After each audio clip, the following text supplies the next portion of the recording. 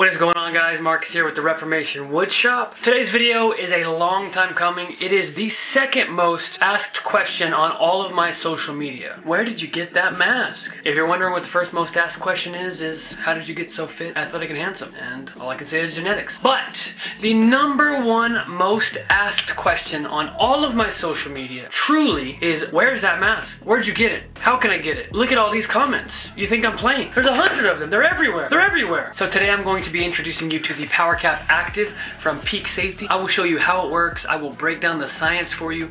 I will tell you what I think about it because I've been using it for a while now. And I will try my best to sway you to start thinking about your health and protecting your lungs with something like this.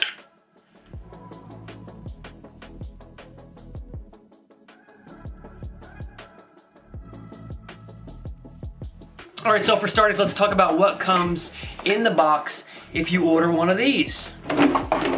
There's what your box looks like. It's just a box. It has a whole bunch of information on it that's really helpful to you if you're interested in all the statistics on it. But yeah, there's your box. The box that I got comes with one bump cap, one face shield, two TH1P filters that you can find on their website, and get replacements for, one battery pack that attaches to the back of the bump cap, one charging station that here in a minute I will show you has interchangeable plugs so that if maybe you're from a different country or you want to plug into something weird and unique, you can exchange plugs for that, and instructions, you know, if, if you're a weirdo and read instructions. Another really cool thing included when you buy this respirator is this airflow test unit, and I'm going to show you really quickly how it works. So if you look right inside the top of your mask, you'll see a port where the air comes out. You'll attach this air test unit to that, turn the machine on. If your filters need to be changed or cleaned up, the air won't come through strong enough to push the little cap up to the green mark. And then you know you got a problem.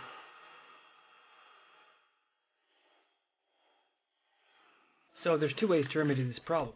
Buy new filters or take the cap off your filter and clean off the pads, brush the dust out, and pray that that does the trick. I'm going to do all that, test it again, and we'll see.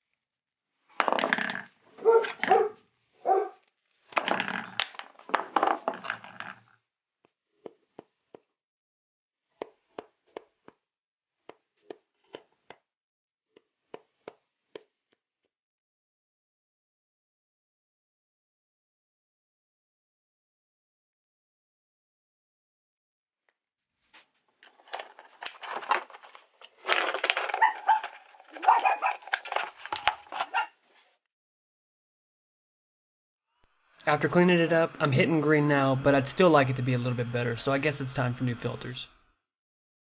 The plug is actually really cool. It is a universal plug and it comes with multiple adapters for multiple plugs.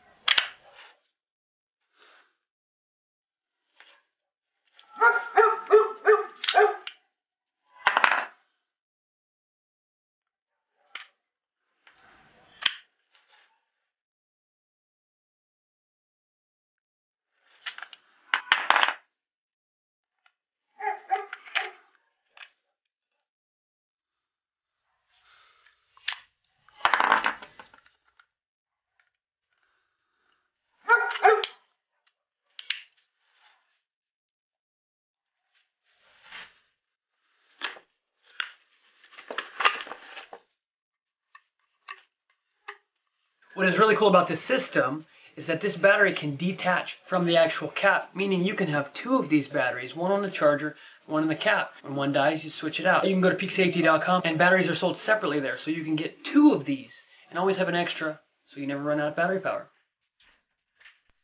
Another pretty convenient thing is that the battery pack does not have to come off the mask in order to charge it. So that's pretty neat.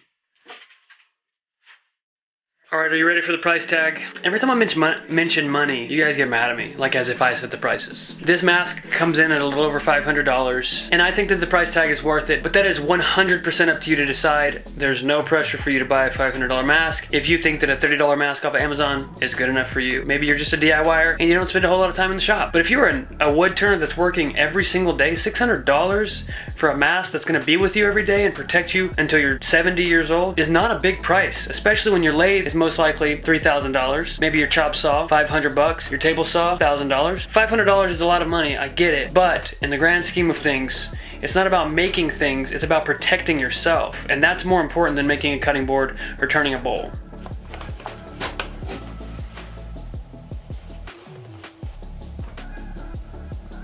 Let's talk about the recommend. Whoa, my hair is a mess. Let's talk about the recommended uses for this thing. On Peke Safety's website, they recommend this cap for agriculture, animal handling, woodworking, sculpting, automotive bodywork, wood turning, chimney maintenance, you know, Christmas time. Make sure Santa has a place to come on in. Construction, landscaping, food processing, allergy relief, and general respiratory protection. Any environments where assigned protective factors up to 10 are required.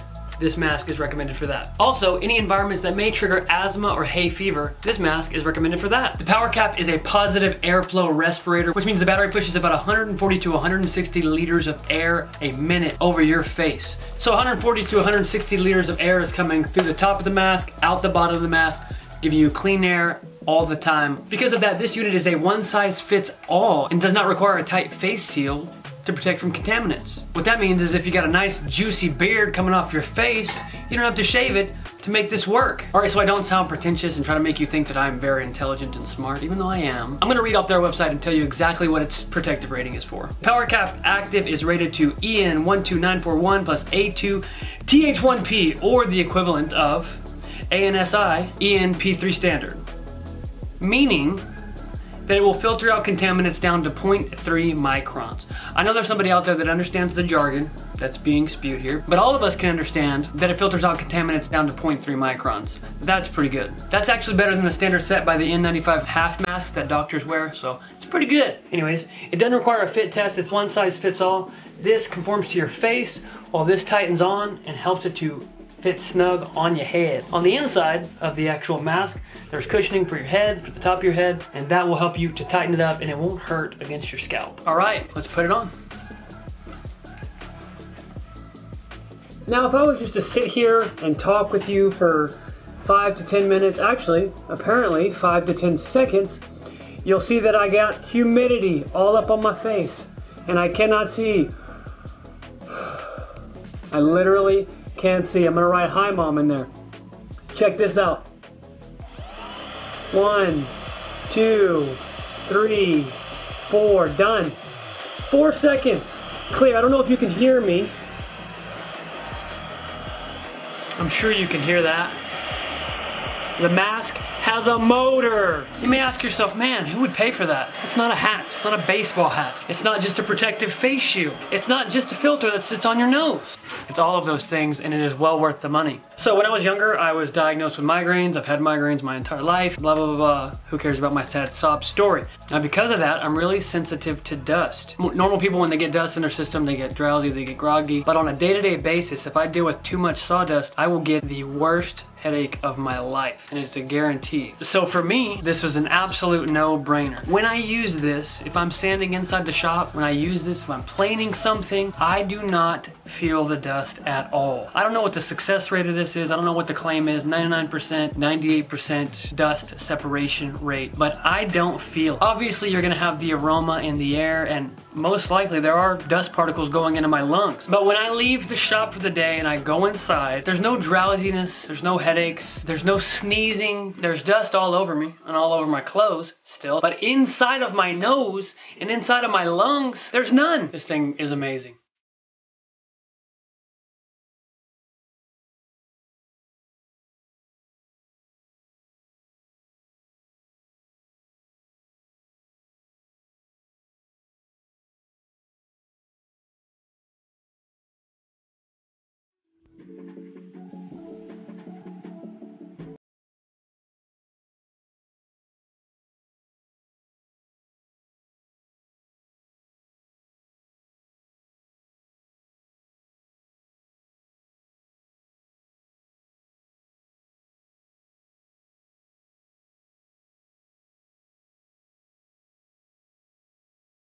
I'm just assuming some of you would have the question, why do I even need a mask? Why? I've got safety goggles, I've got a neck sleeve or whatever they're called to stop little dust particles from getting in. Maybe those work for you. Maybe that will protect your eyes, maybe that'll protect your lungs, but it won't protect your lungs enough for long term health hazards. Wood contains chemicals, even if that wood is not treated for outdoor use or anything like that. All different wood species contain their own particular organic chemicals and all kinds of unnatural things that humans put into them. The less that you can get those things in your lungs, the better. If you are constantly exposed to those things over a long period of time, you are guaranteed to have breathing health hazards as you age. Guaranteed. The masks are necessary.